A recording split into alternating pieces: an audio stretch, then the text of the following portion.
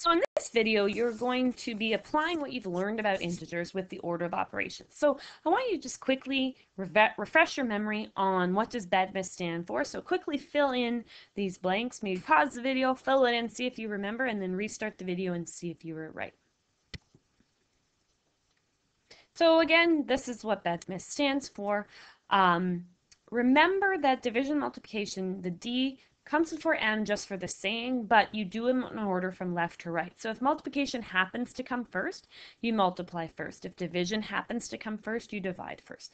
Likewise with addition and subtraction, whichever one comes first in order from left to right is what you do. Um, one other thing that's a little bit challenging sometimes with integers is sometimes brackets are used to show that something is negative. For example, I might write 2 plus negative 3 that, the negative 3 in brackets, is not what I mean by the B in BEDMAS. That's just a bracket showing that the 3 happens to be negative. It's often used in math. You could also see this as well. These two things are the same thing. So the bracket is just often used to show that something happens to be negative. So you have to be careful when you're using the order of operations.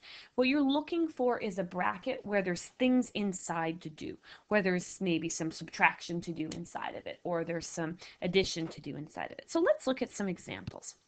So for example, um, here's this the first one here. So we do our multiplication first. So we do 3 minus 7 times 2, which is 14. And 3 minus 14 is negative 11. Okay, so let's look at this next one. So we have negative 4 plus 40, so we do multiplication, minus 50. Negative 4 plus 40 is 36.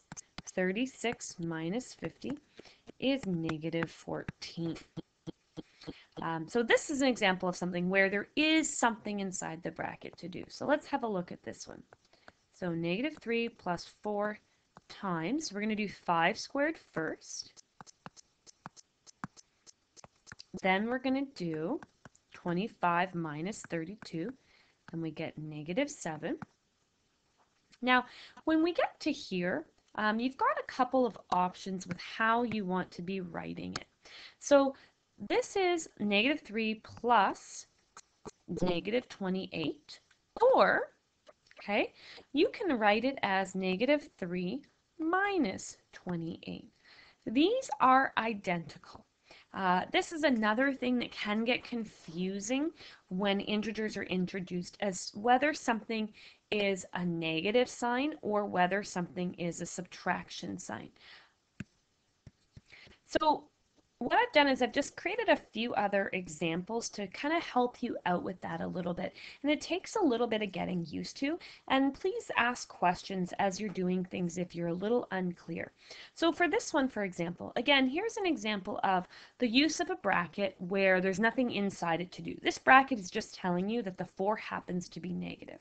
So what we do with this one is we can say 3 minus the answer of negative 4 divided by 2. Well, negative 4 divided by 2 is negative 2.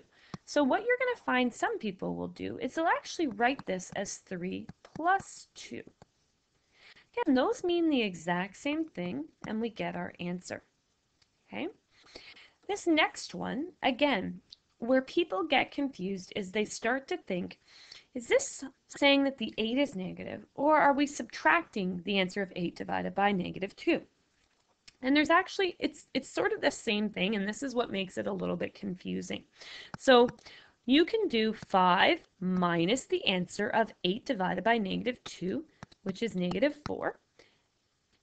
Or you can think to yourself, what's negative 8 divided by negative 2? And you can get 5 plus 4. These are the same thing. Remember, subtracting a negative is the same as adding a positive. So that's one thing that can cause a little bit of confusion confusion with integers and when you're doing order of operations with integers. So I encourage you to ask questions when you're unsure and to keep trying it. It will eventually make sense and you will get better at it. But it can be confusing when there's multiple signs and sometimes it's hard to know whether it's uh, excuse me, whether it's a subtraction or a, or a negative. But again, 5 minus negative 3 is the same as 5 plus 3. And so it, it in some ways, or if I write 5 minus 7, remember that's the same as saying 5 plus negative 7. So in this case, I can say 5 take away positive 7, or I can think of this as 5 plus negative 7. So I can either think of it as a subtraction or as a negative. And I actually they're actually the same thing. And that's what makes integers a little bit more confusing than just normal order of operations. So I, I encourage you to ask questions and keep trying it and eventually it will make sense.